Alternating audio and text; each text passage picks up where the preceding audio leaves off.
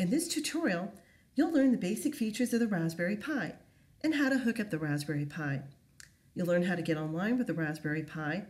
You'll learn how to mount and unmount a flash drive, how to assemble a circuit and connect it to the Arduino, how to use the Arduino developer's environment on the Raspberry Pi, and finally how to shut the Raspberry Pi down. On the front end of the Raspberry Pi, there is a slot for the micro SD card that holds the Pi's operating system, downloaded packages, and whatever files users create. Next to the slot that holds the micro SD card are two LEDs. The red light stays on as long as the Pi receives power, and the green light blinks to indicate software activity.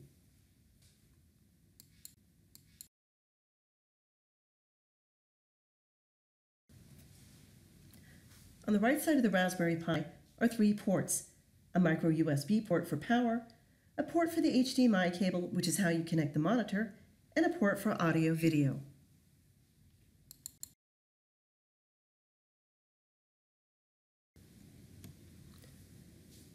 On the back end of the Raspberry Pi are four USB ports. This is where you'll connect the mouse and the keyboard, leaving two spare ports can be used to plug in either a flash drive or some other device. Next to the USB ports is an Ethernet port, which you will not need to use because these Raspberry Pis come with Wi-Fi. Remove the white lid.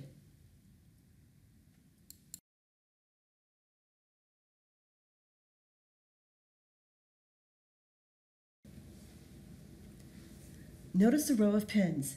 This is a GPIO header.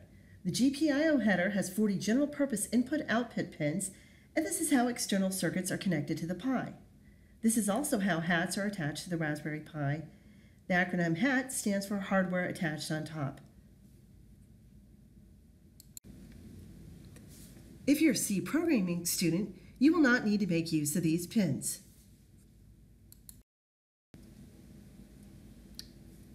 Replace the white lid.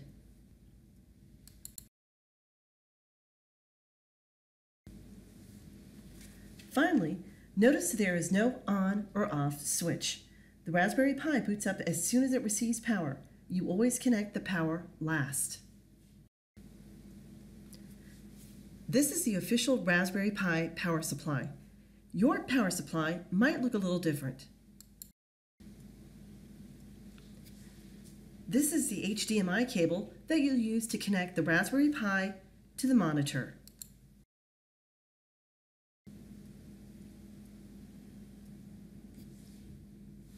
First connect the mouse and the keyboard.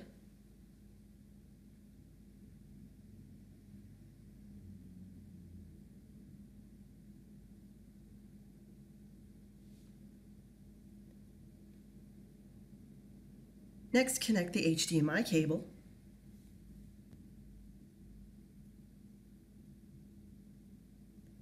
And finally, connect the power supply.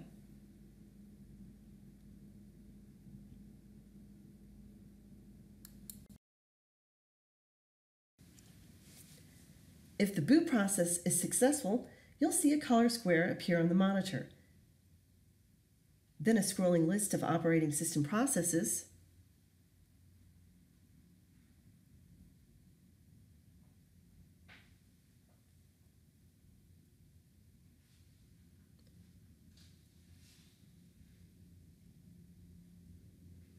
then a black for a few seconds,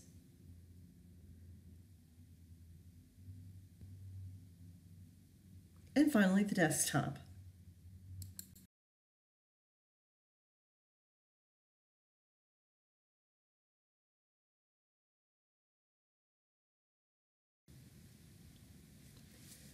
The SSID for the college's internet is PA.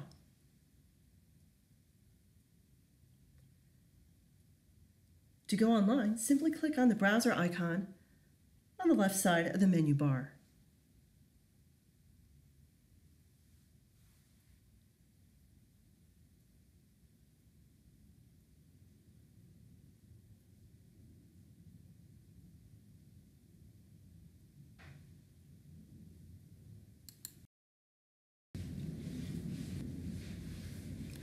Always save all the files you create to a flash drive or email them to yourself. To mount a flash drive, plug it into one of the spare USB ports. A dialog box will appear asking you if you wish to open the drive in the File Manager. You can access your flash drive in the Media subdirectory.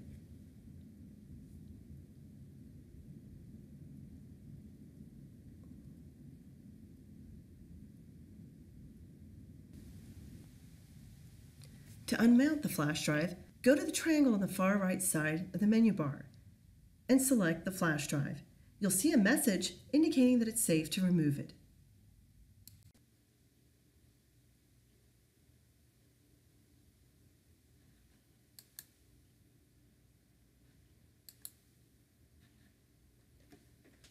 Let's first build the circuit and connect it to the Arduino.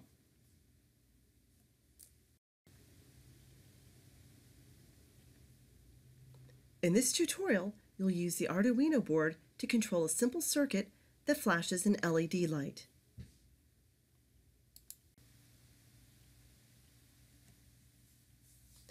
The circuit you will build consists of two components, an LED and a resistor. You might be using a different color LED and or resistor of a different value. The resistor is not polarized, but the LED is. The longer LED leg corresponds to the positive side and the shorter LED leg corresponds to the negative side. In addition, there are two jumper wires that you will use to connect the circuit to the Arduino. The colors of the jumper wires do not matter.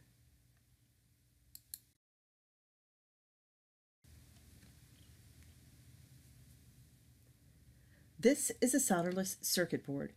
There are two sets of rows of five holes each on each side. On the left and right sides, there are columns labeled plus and minus 1. We won't be using these. Each hole is designated by a letter A to E or F to J and a number 1 to 30. Plugging a component into one of the five holes in a row will put it into electrical contact with any of the other components plugged into the same row. How to plug components into the solderless circuit board. Plug the long leg of the LED into A28. Plug the short leg of the LED into A25. Plug one leg of the resistor into B25. Plug the other leg of the resistor into B21. Plug one end of a jumper wire into E28 and the other end of the hole labeled 10 on the Arduino board. Plug the other jumper wire into E21 and the other end into the hole labeled ground, GND or ground, on the Arduino board.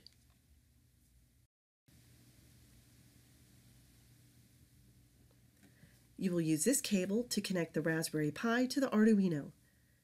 Plug this cable into one of the free USB ports on the Raspberry Pi, and then plug it in to the USB port on the Arduino.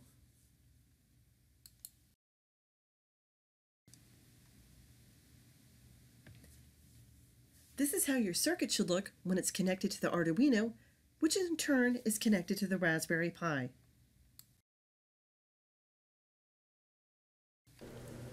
To begin programming the Arduino, go to the Raspberry, select the Programming menu, and then the Arduino option.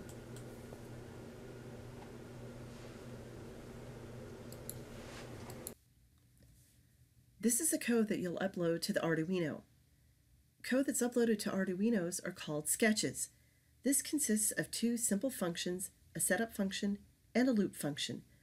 Notice the LED pin is 10. That's what you connected the jumper wire to on your circuit. The interval is set to 2000. This indicates that the interval between flashing on and off will be 2000 milliseconds.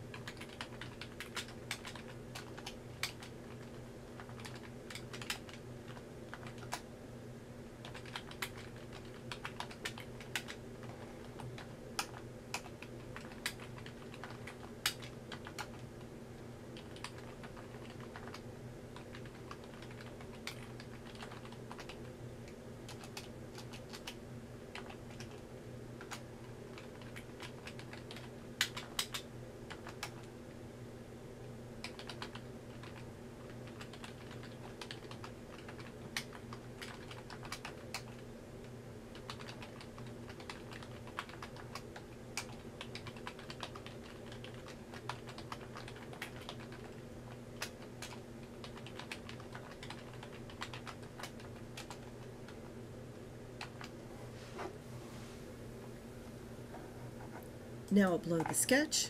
If your code did not execute properly, an error message will be displayed at the bottom. This code executed successfully.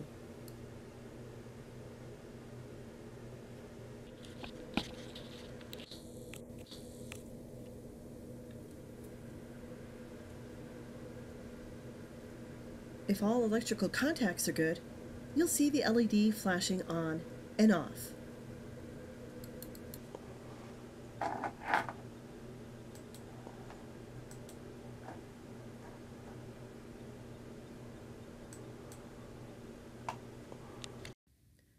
As a courtesy to the next user, clear out the project you just uploaded. Simply type in these two empty functions and upload this sketch to the Arduino. To shut the Raspberry Pi down, go to the Raspberry Pi icon and select Shutdown.